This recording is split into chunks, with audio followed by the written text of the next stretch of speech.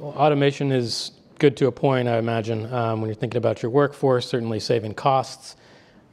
You think any, pretty much any job then can be automated? Um, and we're already seeing, you know, there's, there's, certainly early on we are talking about the manufacturing jobs and blue collar jobs and truck drivers, and uh, now we're talking about white collar jobs and you know the data scientists out there. Um, we're already seeing it in healthcare. Um, talk about job displacement. Um, what are you seeing right now? So reporters are safe. Good reporters are safe. So you, you uh, no, no, no, no. It's happening. It's happening. Good, good report. So, Fake media. Yeah. So one, one, one, question I, one question I've been asked a lot is what, what can AI do? So um, I'll give you an imperfect rule of thumb, um, uh, which is today, right, in, in the future things will change, but today one rule of thumb is I think almost anything that a typical person can do with less than one second of mental thought I think we can either now or in the very near future automate with AI.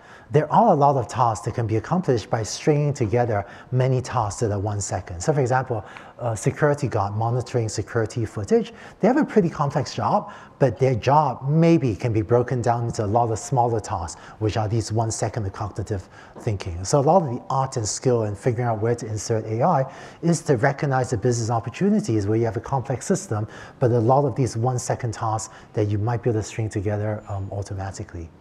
Yeah, I, I, think that we're not going to automate all human jobs anytime in the near future.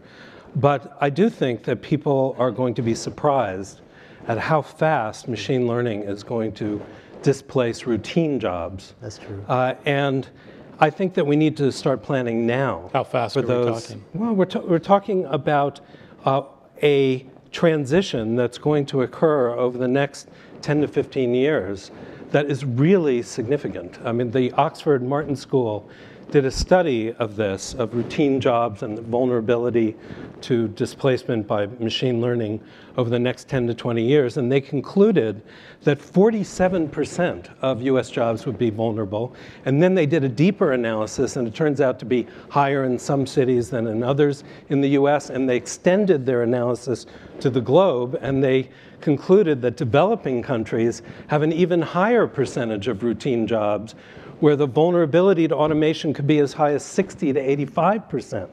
Now that is a very big deal. It could be destabilizing. And, and for that reason, I think that we need to invest heavily in free education for people uh, and also uh, various schemas for doing a basic income. There are lots of disagreements about what the optimal plan would be, but I think the important thing is for us to be proactive and to sort of get ahead of this trend uh, before uh, it comes back to bite us.